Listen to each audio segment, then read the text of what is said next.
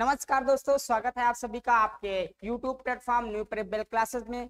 जैसा कि हम सभी लोग इंडियन पॉलिटी यानी कि भारतीय संविधान यानी कि कॉन्स्टिट्यूशन का लगातार प्रैक्टिस सेट सॉल्व कर रहे हैं, उसी क्रम में आज हम लोग फिर से हाजिर हुए हैं एक नए चैप्टर के साथ में, एक नए प्रश्नों के साथ में।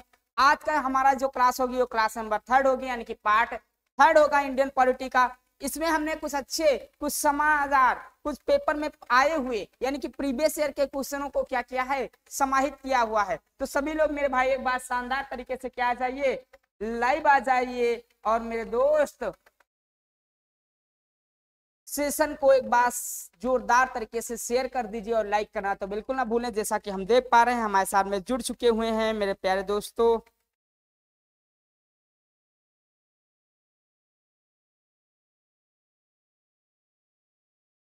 बहुत बहुत स्वागत आप सभी का। सुनील जी धनपर जी, इसी के साथ साथ में शशि जी आर के जी, बहुत बहुत स्वागत है आप सभी लोगों का।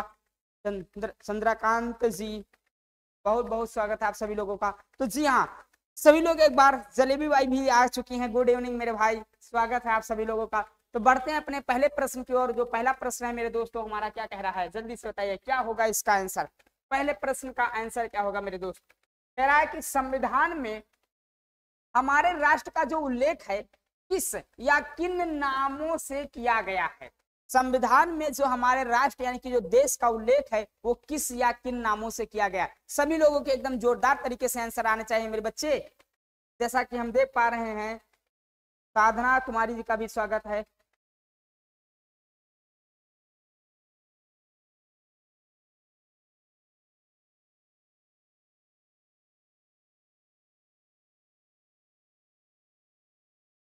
आर जी कह रहे हैं, शकल ऐसी है कि लव मैरिज हो नहीं सकती है और बेरोजगारी इतनी है कि अरेंज मैरिज ना हुई।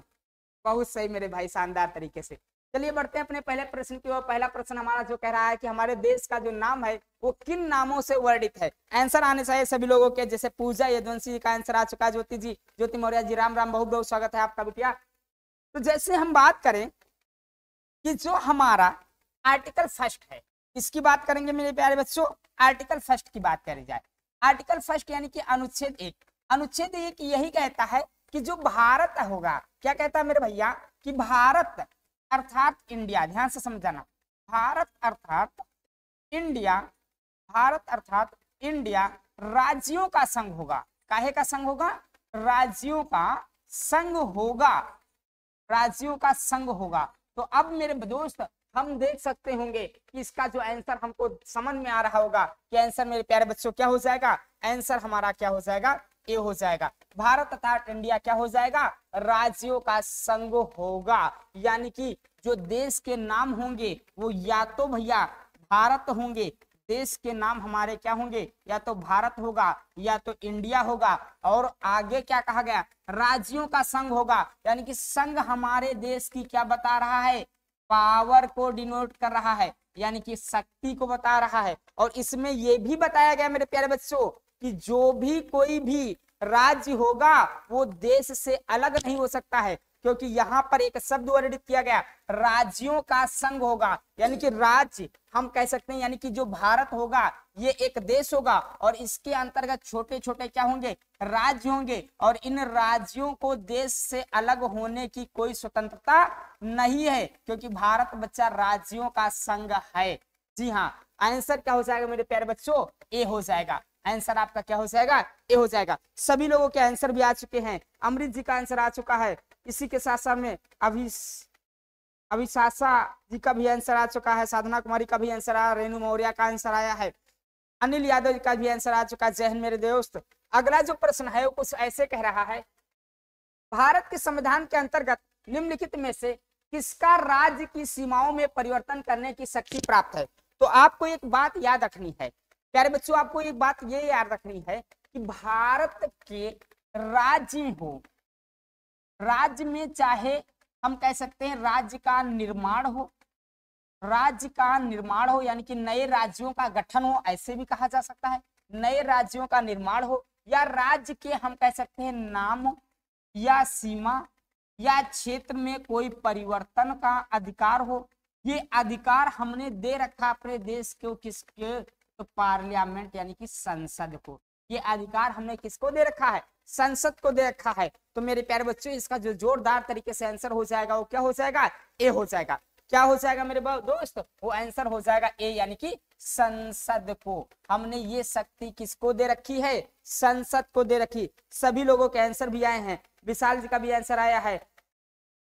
रेणु मोरा जी का भी आंसर आया। अमृत जी का भी आंसर आया। एकदम सुरजीत जी का भी आंसर आया। दर्पण जी का भी आंसर आ चुका है।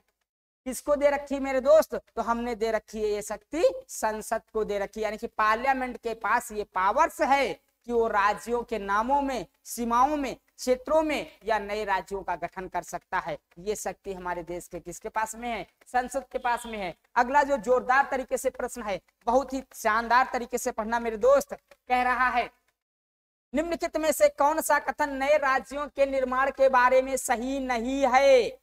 कौन सा कथन सही नहीं है? यानी कि तीन तो सही होंगे मेरे लल्ला, और एक ही क्या होगा? असत्य होगा। तीन तो सही होंगे और एक मेरे लल्ला क्या हो जाएगा? असत्य हो जाएगा। एक एक कथनों को हम लोग बहुत ध्यान पूर्वक पढ़ेंगे। कह संसद विधि द्वारा नए राज्य का निर्माण कर सकती है। जी हाँ ये बात तो क्या हो जाएगी? सही हो जाएगी। इस प्रकार की विधि में संविधान की पहली अनुसूची और चौथी अनुसूची के संशोधन का प्रावधान होगा। ये बात भी हम कह सकते हैं सही है। और उसके बाद क्या कहा गया? इस प्रकार की विधि को अनुच्छेद तीन के प्रयोजनों के लिए संविधान का संशोधन समझा जाएगा। ये बात असत्य है। कैसे असत्य है अभी आपको बताएँगे। आंसर जो आपको मिल गया है वो कौन सा मिल गया है? सी मिल गया है। उसके बाद कहता है कि इस प्रयोजन के लिए विधेयक संसद में तब तक पुनर्स्थापित नहीं किया जा सकता है जब तक उसे राज्य के विधानमंडल को निर्दिष्ट नहीं कर दिया जाए। जिसके क्षेत्र सीमाओं या नाम में इसका प्रभाव नहीं पड़ता है? अब समझना मेरे प्यारे बच्चों, एक बात को आपको क्या समझनी है? समझनी ये है कि जो हमारा भाग एक है, ध्यान से समझना, जो भाग एक है, भाग एक कहता है संघ एवं उसके राज्य क्षेत्र। क्या कहता है? संघ एवं उसके राज्य क्षेत्र। ध्यान से समझना मेरे प्यारे बच्चों, संघ एवं उसके राज्य क्षेत्र का वर्णन कहाँ पर है? तो ये वर्णन है भाग एक में। जब भाग एक में संघ एवं उसके राज्य क्षेत्र का वर्णन है तो कहा यह गया है कि इसका वर्णन, भाग एक का जो वर्णन आपको देखने को मिलेगा, वो अनुच्छेद एक से लेकर कहाँ तक मिलेगा? चार तक मिलेगा। कहाँ तक मिलेगा मेरे प्यारे बच्चों? अनुच्छेद एक से चार तक। अब जो आर्टिकल एक है, वो आर्टिकल एक यही कहता है कि मेरे दोस्त, भारत अर्थात इंडिया, भारत अर्थात इंडिया जो होगा, वो क्या होगा? वो राज्यों का संघ होगा। भारत अर्थात इंडिया क्या होगा? राज्यों का संघ होगा। राज्यों का संघ होगा। उसके बाद आर्टिकल दो बनाया गया है। दो कहता है नए राज्यों का गठन। क्या कहता है? नए राज्यों का गठन। और उसके बाद कहा यह गया है आर्टिकल तीन। और आर्टिकल तीन बच्चा जो कहता है, वो यही कहता है कि संसद को यह अधिकार है कि वो राज्यों की सीमाओं, क्षेत्रों और उनके नामों में क्या कर सकती है? परिवर्तन कर सकती है। क्या कर सकती है? नामों, सीमाओं और क्षेत्रों में परिवर्तन। क्षेत्रों में परिवर्तन। ये बात कही गई है किसमें तो ये बात कह दी गई है मेरे प्यारे बच्चों, आर्टिकल तीन में। अब आर्टिकल चार जो बनाया गया है, ध्यान से समझना। आर्टिकल चार जो है, थोड़ा अजीब है। क्या है मेरे बच्चे? आर्टिकल चार ये कहता है, आर्टिकल चार ये कहता है, प्यारे दोस्त, कि अगर कोई काम आर्टिकल दो और आर्टिकल तीन, आर्टिकल दो और तीन के तहत कोई काम किया जाएगा तो उसे आर्टिकल तीन सौ अड़सठ के तहत संविधान संशोधन नहीं माना जाएगा। यानी कि इस बात की इस बात की क्या दे दी गई है?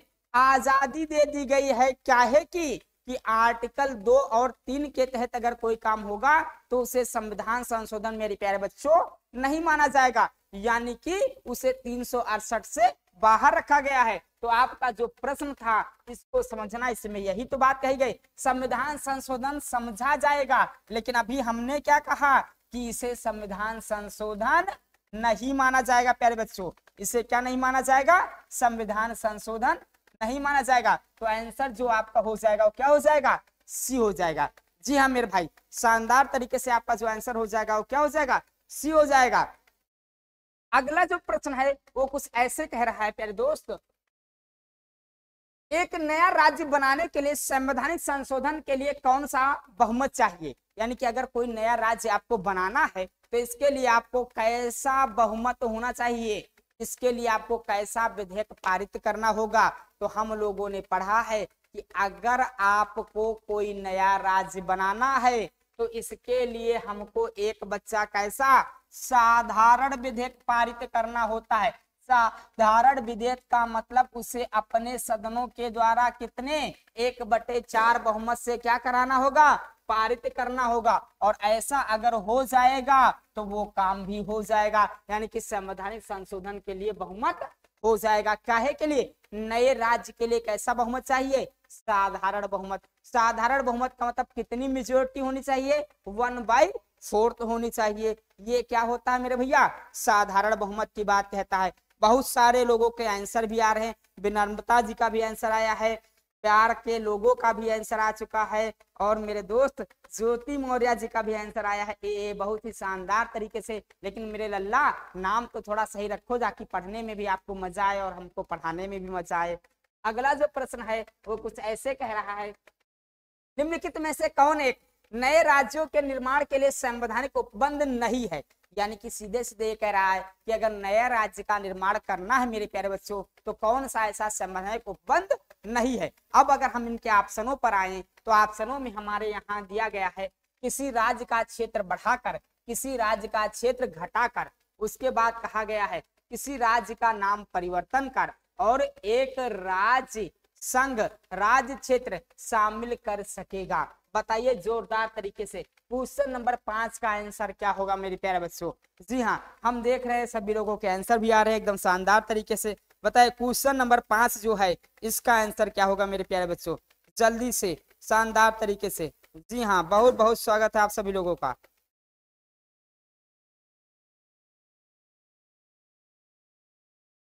जी हाँ फटाफट सभी लोगों के आंसर आ जाना चाहिए।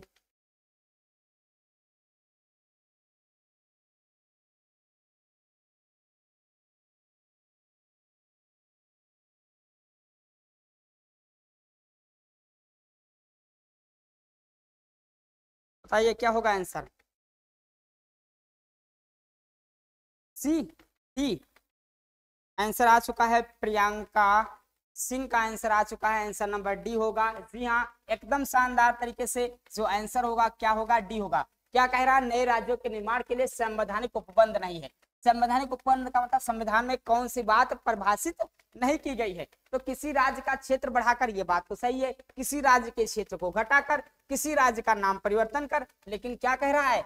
एक राज्य या संघ राज्य क्षेत्र को शामिल कर सकेगा, ऐसा कोई बात नहीं वर्णित है। तो आंसर क्या हो जाएगा मेरे दोस्त? वो आंसर हो जाएगा हमारा डी। आंसर डी क्या हो जाएगा? असत्य हो जाएगा। अगला जो शानदार तरीके से प्रश्न दिया गया है, वो ये कह रहा है, निम्नलिखित में से कौन सा संविधान के अनुच्छेद तीन के तहत संविधान के कानून द्वारा संभव नहीं है?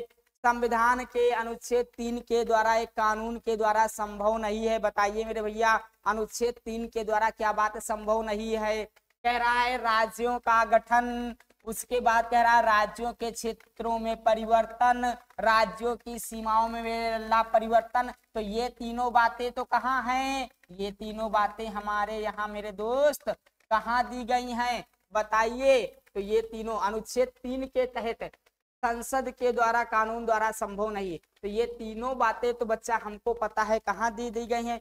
जबकि कह रहा, नए राज्यों का गठन। तो ये नए राज्यों का गठन तो मेरे लल्ला कहाँ पर है? तो ये आर्टिकल बच्चा कहाँ पर है? दो में है और ये सभी बातें कहाँ पर हैं? आर्टिकल तीन में है तो आंसर आपका क्या हो जाएगा लल्ला मेरे? वो डी हो जाएगा। आंसर क्या हो जाएगा मेरे बच्चा? डी हो जाएगा। एकदम शानदार। सुजीत जी का भी आंसर आ चुका है रेणु मौर्य जी का भी आंसर आया। बहुत शानदार तरीके से आप लोगों के सही आंसर आ रहे हैं। मज़ा आ रहा है मेरे दोस्त। अगला जो प्रश्न है डी डी डी एकदम शानदार तरीके से आंसर आए हैं। अगला कह रहा है, भारतीय संघात्मक व्यवस्था के संदर्भ में, निम्नलिखित में से कौन सा कथन सही है? बताइए, प्रश्न को बहुत ध्यान पूर्वक पढ़ना है मेरे बच्चे, और जो इसका आंसर है वो बहुत ध्यान पूर्वक देना भी है। तेरा संघात्मक व्यवस्था के अंतर्गत निम्नलिखित में से कौन सा कथन सही है? अगला, पहला, क्या है? भारतीय संविधान के अंतर्गत राज्यों को संघ से अलग होने का अधिकार नहीं है। ये बात तो पूर्णतया मेरे लल्ला क्या है? सत्य है। अगली बात क्या कह रहा अलग होने की मात्र वकालत करने की अभिव्यक्ति स्वतंत्रता की सुरक्षा मिलेगी। तो बच्चा अभिव्यक्ति की सुरक्षा तो हमने कहा दे रखी है? आर्टिकल 19 में दे रखी है। कहा दे रखी है? आर्टिकल 19 में दे रखी है। तो आपका जो आंसर हो जाएगा, वो क्या हो जाएगा? केवल ए हो जाएगा। केवल ए वाला सही है, बाकी सभी क्या हैं? असत्य हैं। बाकी सभी क्या हो जाएँगे? गलत हो जाएँगे। जी हाँ मेरे भाई, दर्पण जी का भी आंसर सुजीत जी का भी आंसर आया, केवल ए सही है। जी हाँ मेरे दोस्त केवल ए सही, बाकी सभी क्या हो जाएँगे? असत्य हो जाएँगे। क्योंकि अभिव्यक्ति की सुरक्षा तो बच्चा कहाँ है? स्वतंत्रता कहाँ है? तो वो है आर्टिकल 19 में, मेरे प्यारे बच्चों। इसका बताइए आंसर क्या होगा? शानदार तरीके से। क्वेश्चन नंबर 10 का आंसर क्या होगा? क्वेश्चन नंबर 8 का आंसर क्या होगा, मेरे बच्चे?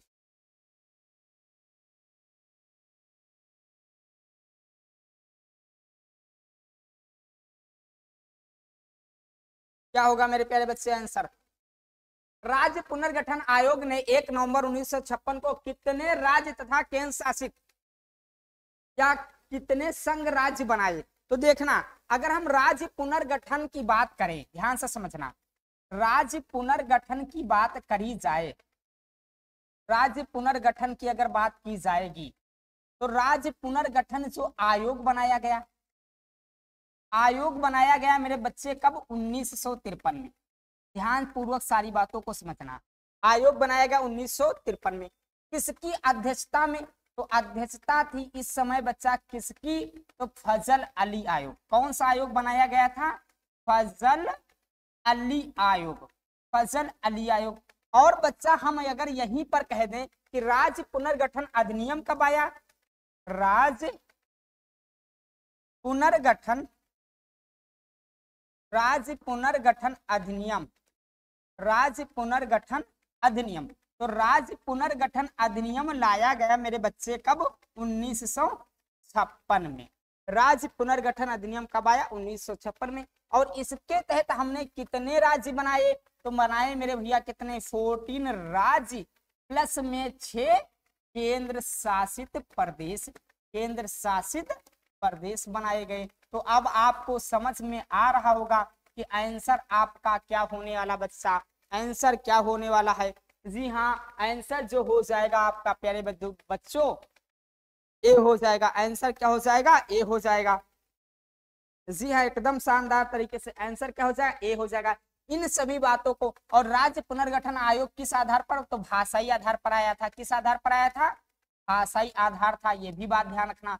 पूछा जाता है कि राज्य पुनर्गठन आयोग जो था या राज्य पुनर्गठन अधिनियम जो था, किस आधार पर आया? तो मेरे प्यारे बच्चों, किस आधार पर आया? वो आया भाषाई आधार पर। अगला जो शानदार तरीके से मेरे बच्चे प्रश्न है, वो कुछ ऐसे कह रहा है, किस संविधान संशोधन द्वारा दिल्ली को राष्ट्रीय राजधानी क्षेत्र का दर्जा मिला? किस संविधान संशोधन द्वारा दिल्ली को राष्ट्रीय राजधानी क्षेत्र का दर्जा मिला? बताइए मेरे बच्चे, शानदार तरीके से क्या हो जाएगा आंसर? दिल्ली को राष्ट्रीय राजधानी क्षेत्र का दर्जा। अगर दिल्ली को राष्ट्रीय राजधानी क्षेत्र के दर्जे की बात की जाएगी, मेरे प्यारे बच्चों तो वो हो जाएगा सिक्सटी नाइनवा सिक्सटी नाइनवा कब किस वर्ष हुआ तो हम कह सकते हैं इक्यानबे। और इसी वर्ष दिल्ली को बच्चा राष्ट्रीय राजधानी क्षेत्र का क्या मिल गया? दर्जा मिल गया। दिल्ली को राष्ट्रीय राजधानी क्षेत्र का दर्जा मिला गया। एनसीआर का इसे क्या मिल गया? दर्जा मिल गया। तो आंसर बच्चे क्या हो जाएगा? बी हो जाएगा एकदम शानदार तरीके से। आंसर भी सबके आए भी हैं एकदम। गजब गजब गजब मेरे लल्ला। ऋषभ सोनकर जी का भी आंसर आ चुका है। एकदम मेरे दोस्त, ठीक, शानदार तरीके से सभी लोगों के भी प्रश्न के आंसर आ रहे हैं। अगले मेरे प्यारे बच्चों, जो प्रश्न दिया गया है, वो ये कह रहा है, सिक्किम भारत का एक राज्य बनाया गया था। प्रश्न बहुत ध्यान से समझना, दो प्रकार से इसके आंसर हैं और दोनों प्रकार से इसकी बातों को आपको बताया जाएगा। सिक्किम को पूर्ण राज्य का दर्जा कब बनाया गया? तो अगर बात की जाएगी कि सिक्किम भारत का राज्य बनाया गया था। तो सिक्किम भारत का राज्य बनाया गया चौतीसवें संविधान संशोधन 1974 के द्वारा।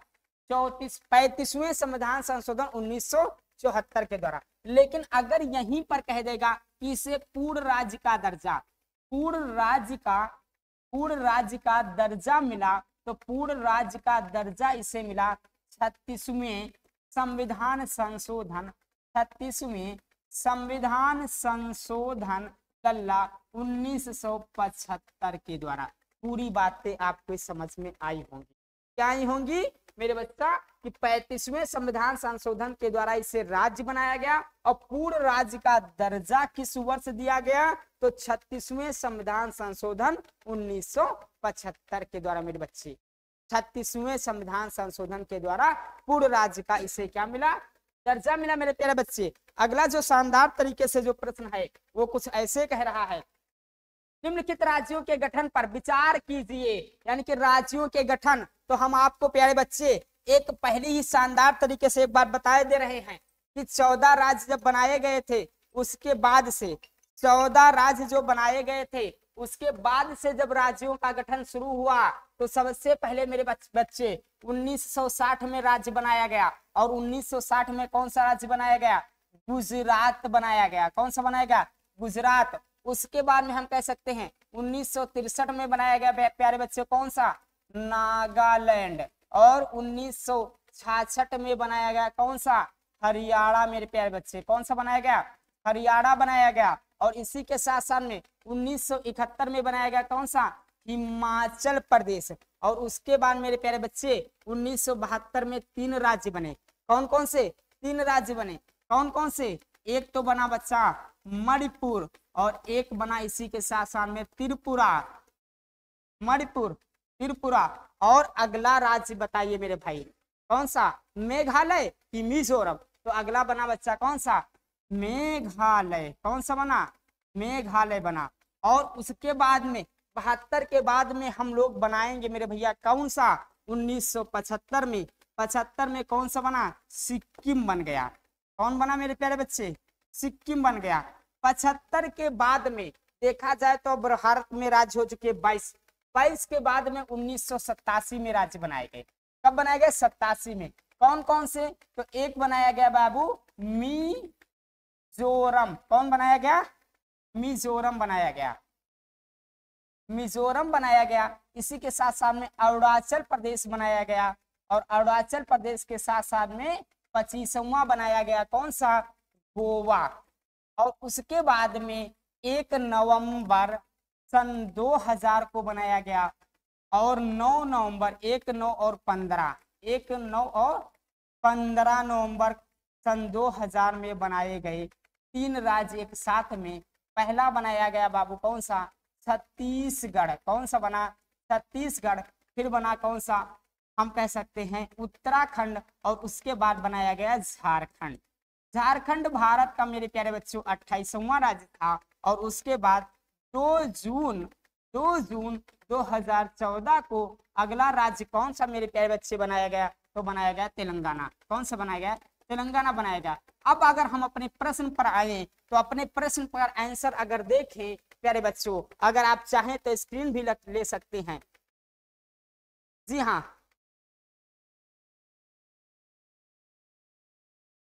अगर हम चाहें तो अपना भैया इसको देख सकते हैं कि कैसे कैसे राज्य बने। तो देखो, सबसे पहले कौन सा बना था? हरियाणा की बात की जाए तो हरियाणा कब आया उन्नीस में आ गया। हरियाणा कब आ गया? छाछठ में। झारखंड की बात की जाए तो मेरे प्यारे बच्चों, झारखंड आया वर्ष 2000 में। तेलंगाना की बात की जाएगी तो आया वर्ष 2014 में, गोवा की बात की जाएगी तो आया उन्नीस सौ सतासी में। अब आप देख सकते होंगे, एक नंबर पर बाबू कौन सा हो जाएगा? यानी कि ये दोनों ऑप्शन तो गलती ही हो जाएँगे पूर्णतया कौन? ए और सी तो पहले ही गलत हो जाएँगे। उसके बाद अगर देखा जाए तो कौन सा आ जाएगा? घा के बाद में का। यानी कि आंसर जो हो जाएगा, आपका क्या हो जाएगा? बी हो जाएगा।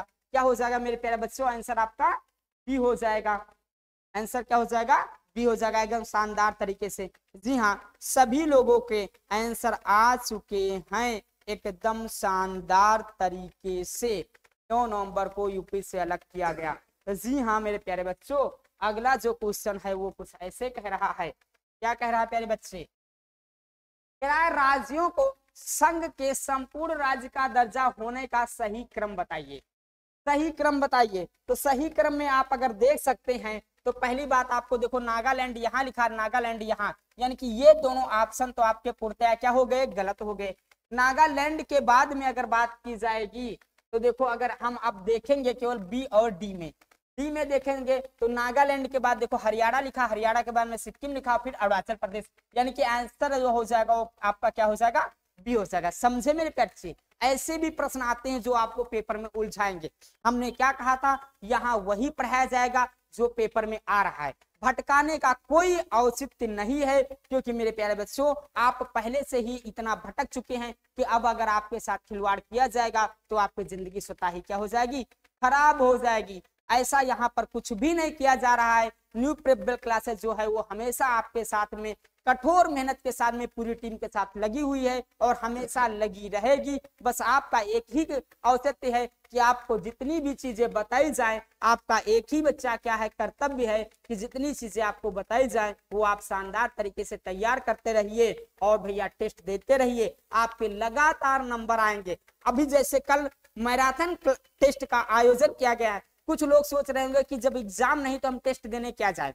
तो मेरे प्यारे बच्चों, आपको एक शानदार तरीके से एक बात बताई जा रही है कि अगर आपके नंबर टेस्ट में अच्छे आएँगे, तभी तो आप जाकर भैया वो अच्छी चीज़ों को अपने पेपर में गेन कर पाएँगे।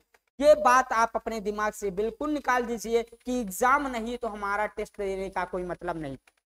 अगर आप टेस्ट नहीं देंगे तो आप अपनी तैयारी को परख कैसे पाएँगे कि हम किस पोजीशन पर हैं? आखिर हमारे कितने नंबर आ रहे हैं? कौन सी सब्जेक्ट में हमारे नंबर कम आ रहे हैं, उसी सब्जेक्ट को हमको फोकस करना है। और अगर जिस दिन आपका ये कहानी शुरुआत हो गई, उस दिन आपकी सिलेक्शन में कोई भी आबाधा नहीं आ सकती है। आपका सिलेक्शन होना तय है। यहाँ पर कोई ऐसी फर्जी चीज़ें नहीं की जाएँगी। जैसे कि बच्चा आपको पता होगा जो भी लोग यहाँ पर सिलेक्शन लगातार पाए हैं, वो आपके जानने वाले ही लोग हैं। ऐसे कोई लोग नहीं है जो कहीं से बुलाकर फ़ोटो खिंचवा दिया जाए। ऐसा यहाँ का न्यू प्रेबल क्लासेस का ऐसा कोई भी विचार नहीं रहता है, क्योंकि वो हमेशा सच्चाई के प्रत है और सच्चाई के प्रति ही आपके साथ, ईमानदारी के साथ में लगी हुई है। तो बताइए मेरे प्यारे बच्चों, अगला जो क्वेश्चन हो जाएगा उसका आंसर क्या हो जाएगा? प्यारे बच्चों, अगला जो प्रश्न हो जाएगा उसका आंसर क्या हो जाएगा? एक कथन सत्य है, बताइए कौन सा है?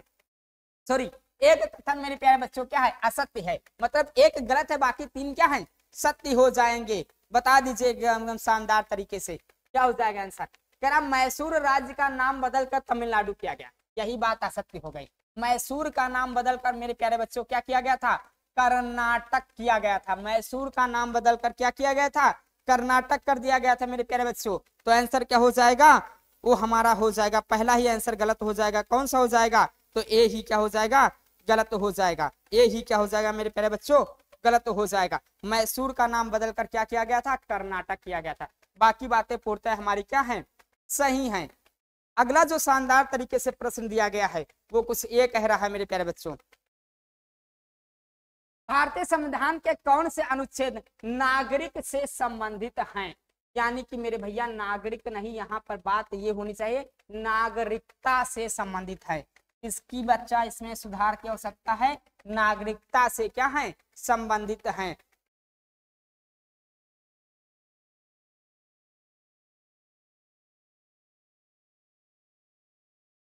नागरिकता से क्या है? संबंधित है। तो बताइए मेरे प्यारे बच्चों, नागरिकता की अगर बात की जाएगी तो हम लोगों ने पढ़ा है।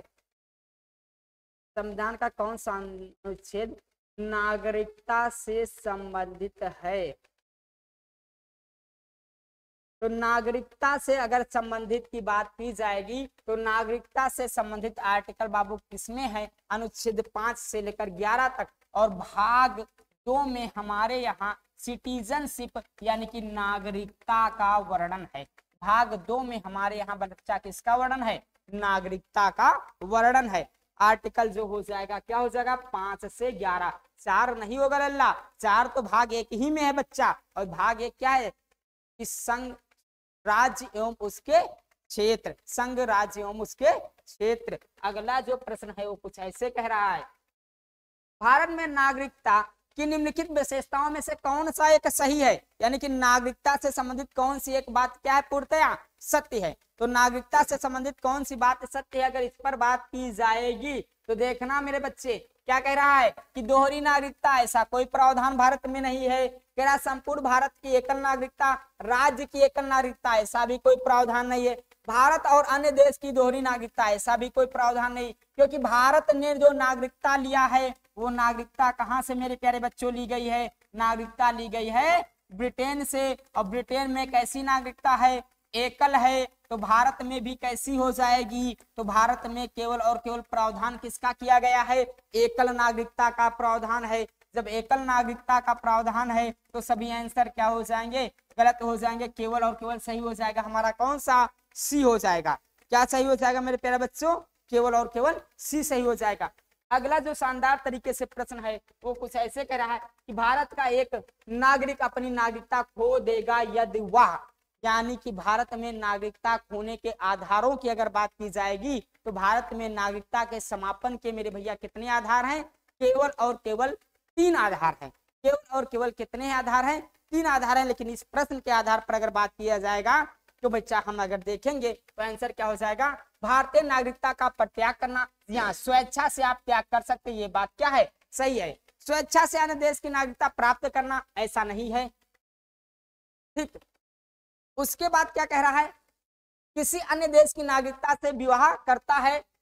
ठीक तो ऐसा बात नहीं है, आप विवाह कर सकते लेकिन भारत की नागरिकता आपके पास में बनी रहेगी। और उसके बाद कह रहा है, मेरे बच्चे, क्या? कि सरकार की आलोचना करता है। तो सरकार की आलोचना करने से आपकी नागरिकता नहीं जाएगी बच्चे।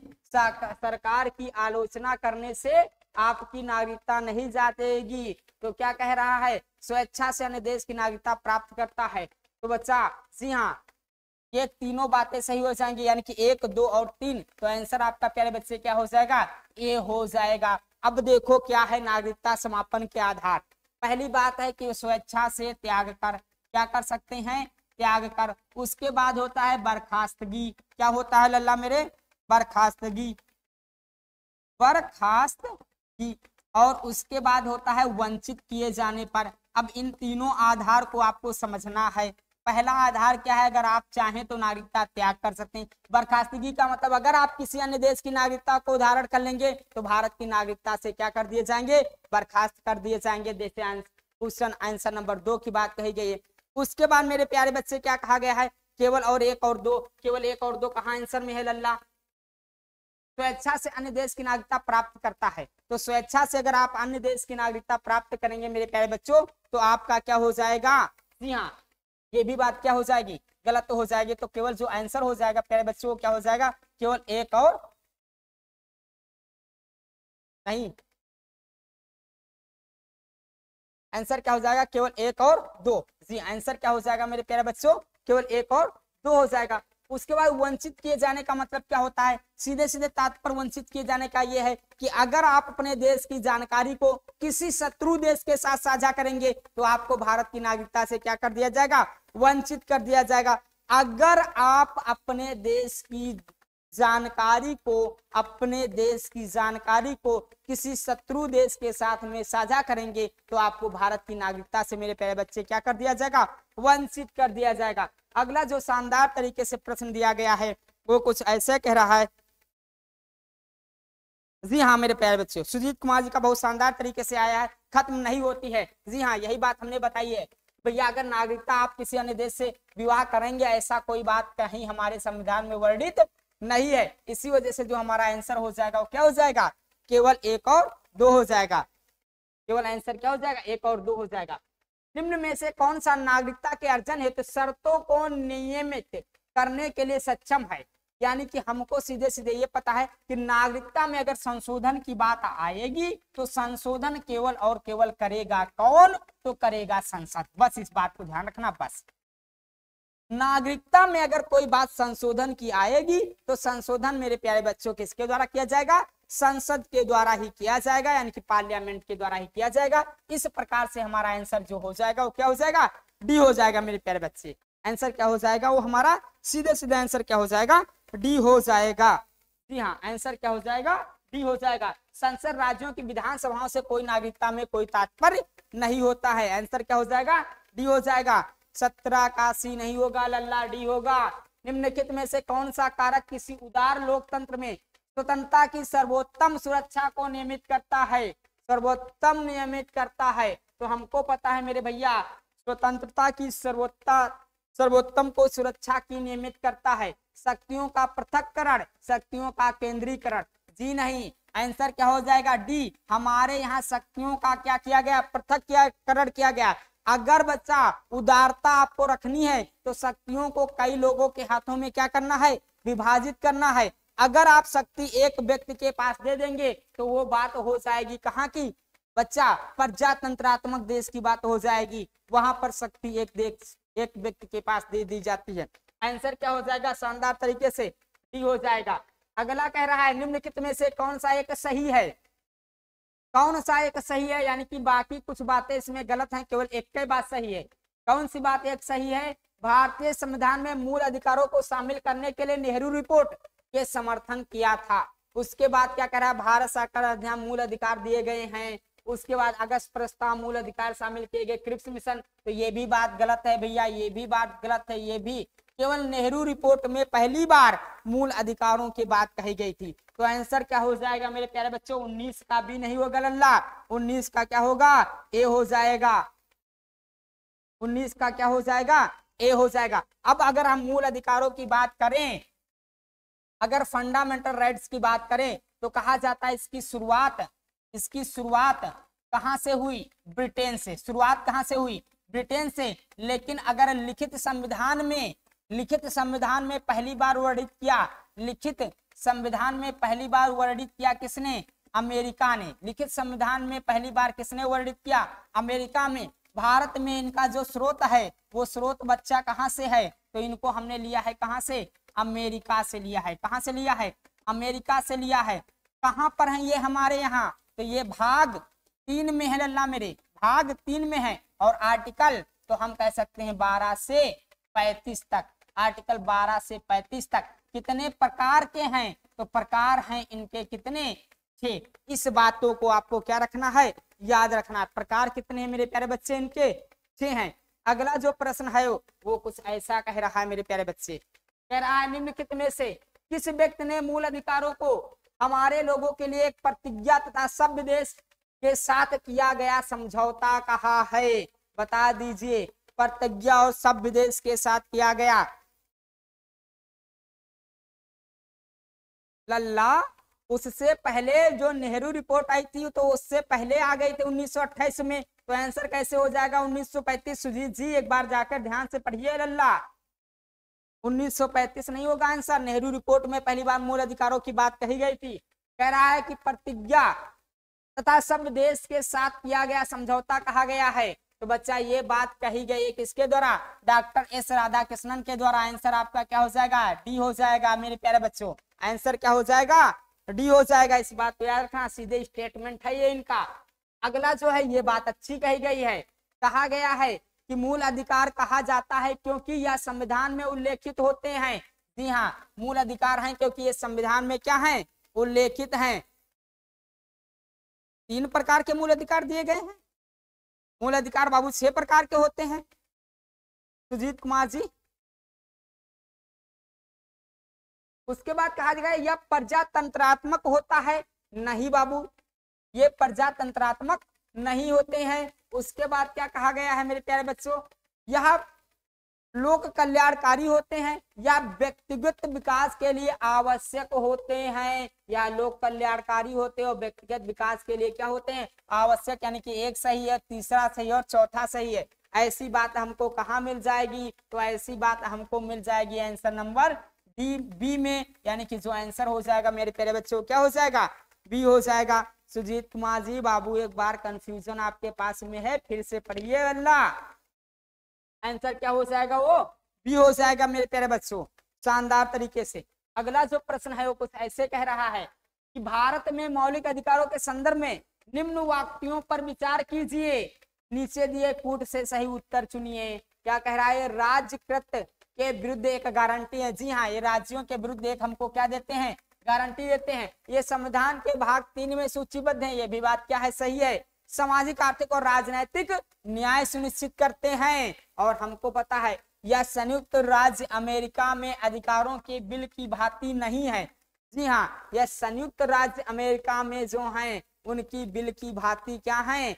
नहीं है, क्योंकि वहाँ के मूल अधिकार कुछ डिफरेंट हैं और भारत के कुछ डिफरेंट हैं। तो आर्टिकल जो जो हमारा आंसर हो जाएगा लल्ला वो क्या हो जाएगा? सी हो जाएगा, प्यारे बच्चों। आंसर क्या हो जाएगा हमारा? सी हो जाएगा, एकदम शानदार तरीके से। आंसर क्या हो जाएगा, प्यारे बच्चे मेरा? वो सी हो जाएगा। सभी लोगों के एकदम शानदार आंसर भी आ चुके हैं, एकदम शानदार तरीके से। आंसर क्या? जैसे ज्योति मौर्य जी का आंसर आ चुका, मेरे प्यारे बच्चों, क्या? सी सी सी एकदम शानदार तरीके से। अगला जो प्रश्न है, वो कुछ ऐसे कह रहा है भारतीय संविधान के अनुच्छेद तेरह का मुख्य उद्देश्य निम्नलिखित में से किसके विरुद्ध संविधान की सर्वोच्चता सुनिश्चित करता है? तो आर्टिकल जो तेरह है, वो हमको पता किसके विरुद्ध है? तो आर्टिकल तेरह किसके विरुद्ध है? तो आर्टिकल तेरह का मतलब मेरे बल्ला क्या है? मूल अधिकारों की बात कही गई है आर्टिकल तेरह में। किसकी बात कही गई मेरे प्यारे बच्चों? मूल अधिकारों की। तो आंसर क्या हो जाएगा? बी हो जाएगा बच्चे मेरे। आंसर क्या हो जाएगा? बी हो जाएगा। अगला जो शानदार तरीके से प्रश्न है, वो कुछ ऐसे कह रहा है, भारतीय संविधान के निम्नलिखित अनुच्छेद में से कौन सा विधान सत्ता पर पूर्ण रूप से लागू होता है? विधान यानी कि विधि। अब आर्टिकल आपको ऐसे समझना है विधान सत्ता पर पूर्ण रूप से लागू, पूर्ण नियंत्रण स्थापित करता है। तो जैसे हमने मेरे भैया एक बात कही थी कि आर्टिकल जो 14 है, वो कहता है, विधि के समझ क्षमता और विधियों का विधि के समक्ष समता। और अगली बात इसी में कही गई है कि विधियों को, यानी कि विधि को पूर्ण रूप से लागू करने की बात कही गई। क्या कही गई है? विधि को पूर्ण रूप से लागू करने की बात, यानी कि जो आंसर हो जाएगा वो क्या हो जाएगा? ए पंद्रह में जाति, वंश, धर्म और लिंग के आधार पर भेदभाव। सोलह में लोक नियोजन के अवसर की समानता, सत्रह में बाबू क्या? अस्पृश्यता का अंत। सत्रह में मेरे बच्चे क्या हो जाएगा? अस्पृश्यता का अंत हो जाएगा। अगला जो कुछ प्रश्न है, वो कुछ ऐसे कह रहा है मेरे प्यारे बच्चे। सब, ज्योति मौर्य जी का भी आंसर आ रहा है एस जी का भी आंसर आया एकदम शानदार तरीके से। कह रहा है, विधि क्या नियम या कानून? अधिराज्य का मतलब है, सभी के लिए कानून और सभी के लिए एक न्याय तंत्र सभी के लिए कानून और सभी के लिए एक राज्य।